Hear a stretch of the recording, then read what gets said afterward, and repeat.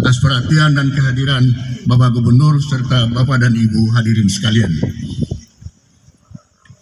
Perkenankanlah saya untuk terlebih dahulu menjelaskan kepada hadirin sekalian bahwa rencana pembangunan stadion ini adalah terkait dengan kehadiran dan keberadaan klub sepak bola Malut United FC yakni klub sepak bola profesional yang resmi terdaftar di Induk Sepak Bola Indonesia PSSI yang saat ini berada pada kasta Liga 2 dan akan mulai berkompetisi pada tanggal 3 September 2023 nanti.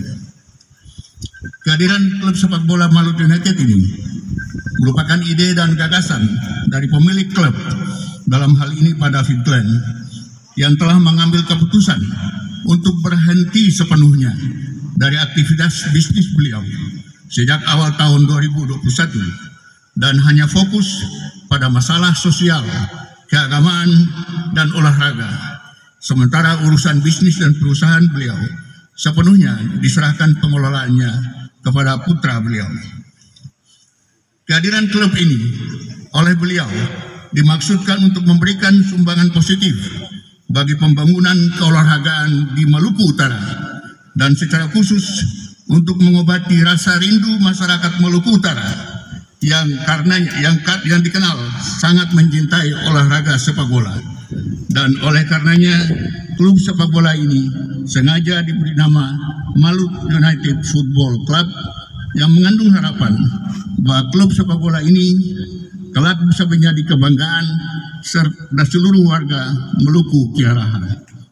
Pada kesempatan pagi ini, seluruh ofisial, pelatih, dan pemain telah berada di sini bersama hadirin sekalian.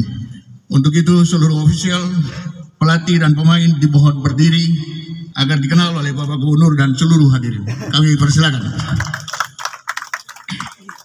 Bapak Gubernur inilah adik-adik kita yang tergabung di dalam Malut United Football Club. Banyak di antaranya adalah putra asli Provinsi Maluku Utara. Pak Gubernur minta adik-adik sekalian maju ke depan untuk dilihat oleh seluruh hadirin dari depan. Silakan, silakan. Pak Doni, tolong diorganisir pemain terutama pemain Coach Imran head coach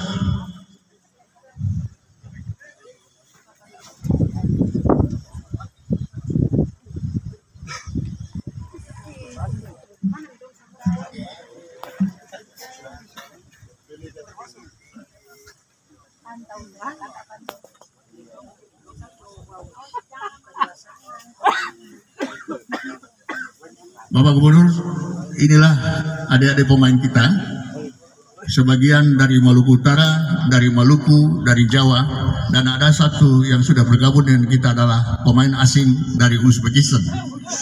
Mohon tepuk tangan hadiri untuk adik-adik kita semua memberi semangat untuk mereka semua di sini.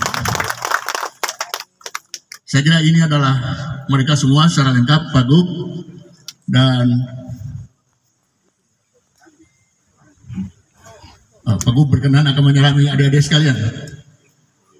Mohon maaf ini betul-betul inisiatif beliau, rasa cinta beliau kepada Malut United dan ini merupakan merupakan pertanda baik bagi Malut United untuk berkiprah di Liga 2 bahkan ke Liga 1 nanti.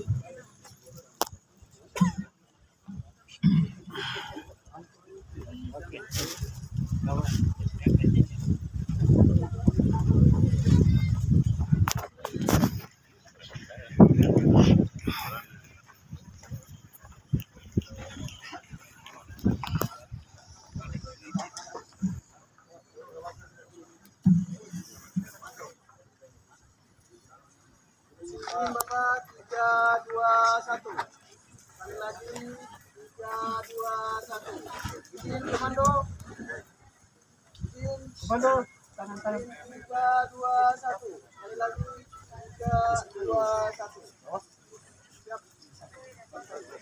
Nice. Terima kasih Bapak Gubernur dan Bapak-Bapak Forkompimda serta para sultan, adik-adik sekalian. Bisa kembali ke tempat lagi kita lanjutkan.